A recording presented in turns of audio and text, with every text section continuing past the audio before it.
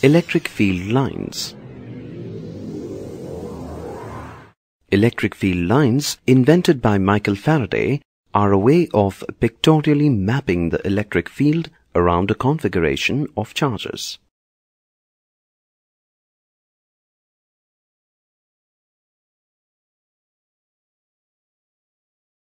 Let us see the nature of lines of force around some simple charge configuration. In the case of a single positive charge, the lines of force are radially outward.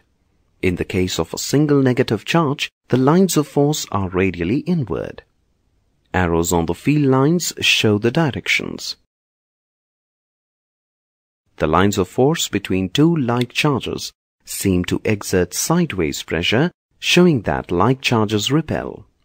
Arrows on the field lines show the directions.